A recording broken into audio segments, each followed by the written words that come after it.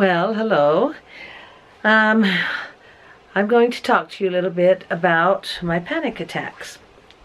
Um, I've mentioned that I do have those, and there's been a lot of requests to talk, have me talk about it, what I do to control it. And they started probably back when I was about five years old. Had a couple of them, and but mostly they started hitting hard when I think I was about 16 and I was just I just panicked about things and and it didn't help when I I was 13 years old and I was in charge I got I went to babysit for some ladies there, there are three ladies and went to babysit for them and I wasn't supposed to babysit for one of them but they sent another lady in and I was so excited to go babysitting so one of them came into the house and said, uh, do you want to babysit? And anybody want to babysit? And I said, I do. And I ran out the door. And I didn't even tell my parents where I was going or nobody knew.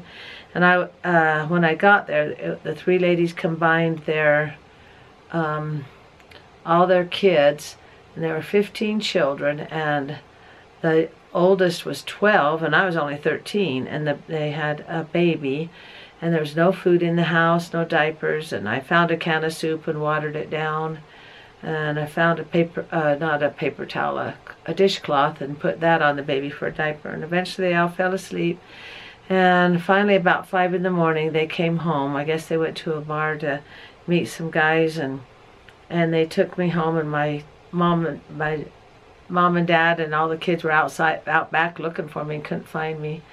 And I got five dollars and for 10 hours work and I, I just never babysat after that. It was just really weird and um, and then I, that's when I developed my fear of babies. I just did not want to babysit. A baby would cry and I'd go, no thanks, I didn't want to do that. And then when I got married, I'd have panic attacks whenever anybody wanted me to babysit. And I just thought, oh, they're not going to come back. And, and I'd get panic attacks about getting too far away from home. And and I got them real bad after my second child was born, Rochelle.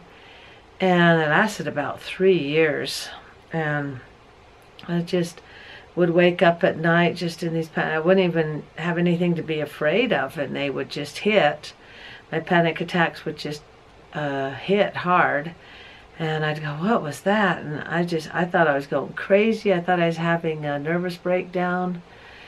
And uh, finally one night, after about three years of this, um, then Davey was born, and then Julianne, and um, after about three years of this, I heard, uh, uh, uh well, I had had a dream that, uh, well, before, when Rochelle was a baby, I, I'd ha having these panic attacks, and I was really worried about being a mother and if I could do it, and, and um, I had this dream that I was walking along and all of a sudden uh, somebody shot me. I got shot. It didn't hurt or anything. And I knew I got shot because I could see myself being raised up above the house. I thought, I think I'm dead. And I thought, well, who's going to take care of Johnny and Michelle? Um, so I thought, well, I really don't want to die. I want to be the ones to take care of him. So all of a sudden I just woke up. I thought, boy, that was a scary dream. I says, I I want to be around for to raise my kids. I don't want somebody else to do it. And I thought just that maybe this is just going to be how my life is. I'm just going to have panic attacks. And back then they didn't know what they were. This is 40 years ago. And they didn't know what they were. And so I'm, you know, I don't say anything much about it. And, uh, you know, if anybody did know, they would say they'd pray for me and stuff. But after about three years, uh, I remember hearing Tony Robbins talking on on the TV or radio or something, saying how our minds are like a record, and we play them over and over in our our mind when things when we hear things or when things happen. And what we need to do if we want to erase a memory or want to erase something like our panic attacks, you got to scratch the record. You've got to You've got to stop making it a pattern.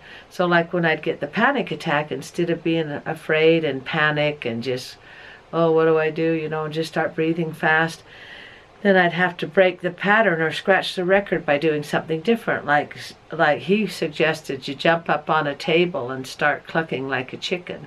Of course, I didn't want to do that one, but I would I would just do something different to try and scratch the record and and uh, you know do do something like uh, try and um, maybe go out back and uh, ride a bike or maybe do some jumping jacks and and so I finally pulled out of those panic attacks by doing that.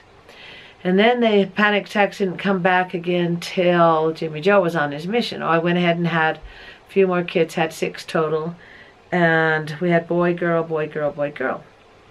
And we sang, and I seemed to be doing just fine.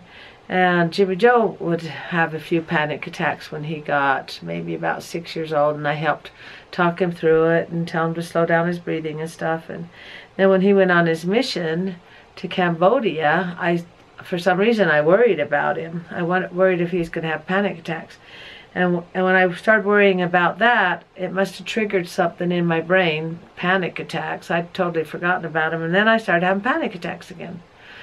So I thought, well, by this time, people started knowing about what they were and they were calling them panic attacks or whatever and they thought oh you need to get on medication but I don't believe in that I thought I'm not going to take a pill for that I can I can do this and I I had um heard about a guy called Charles Linden and I thought well I'm going to buy his tapes and boy he really helped me and he he told how it's it's not real it's it's just in your head and you just need to slow your breathing down and and because when you start panicking you talk you breathe real fast.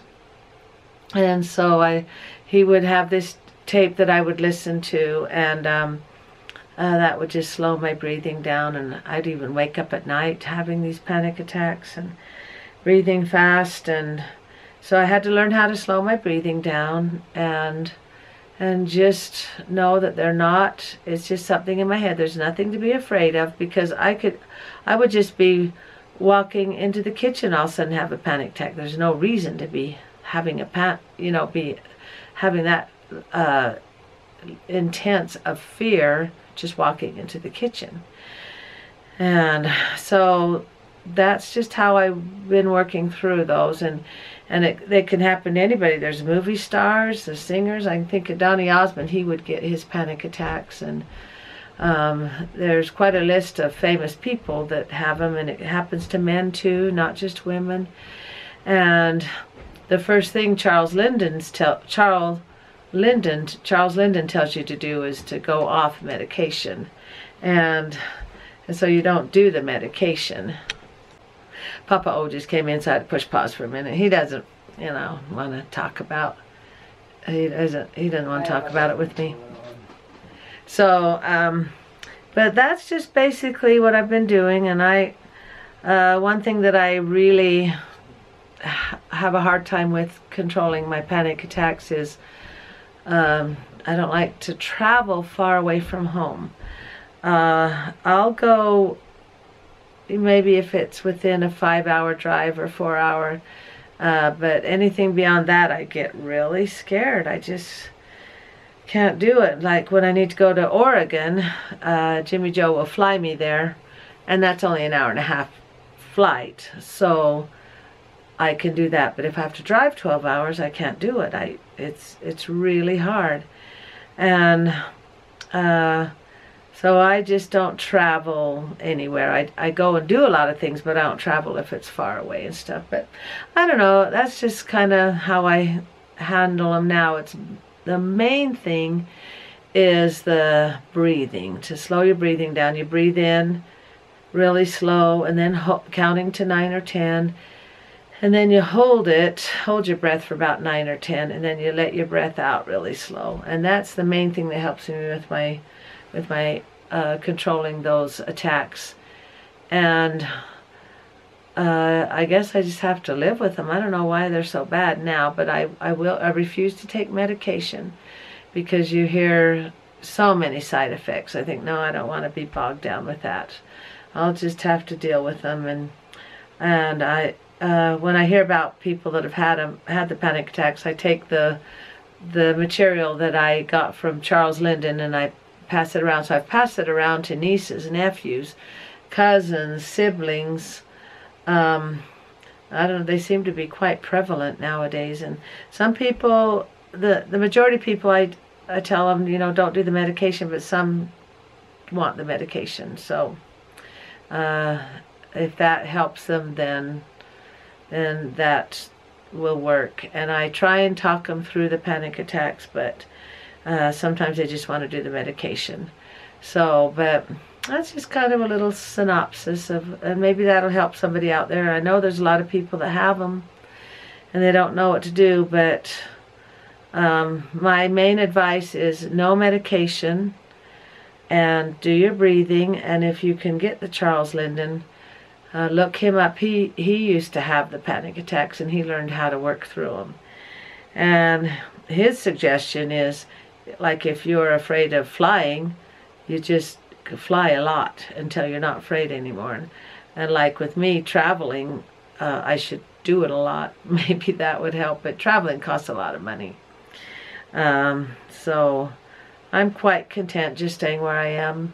But um, you could look him up on YouTube, and he has little snippets of advice and stuff. But he had, oh, I think panic attacks for 30 years, and and uh, but uh, I just thought I'd share that with you guys and not take too much time. Hopefully, oh, I, I don't know how long I've been talking. Anyway, so make sure you you know to comment below, and maybe I can. Um, uh, give you some advice or help you and um, because it's no fun living you, you know no fun having those attacks. But they are fixable. You can get through them and you don't have to um, I know a lot of people end their lives because they don't want to deal with it anymore. And we don't want that to happen. Life is wonderful. You don't want to have to go that route. And there is a is a way to take care of them. So comment below and let me know. That rhymes. Make sure you like, comment, and su subscribe. And welcome to all the new subscribers. And thank you and good night.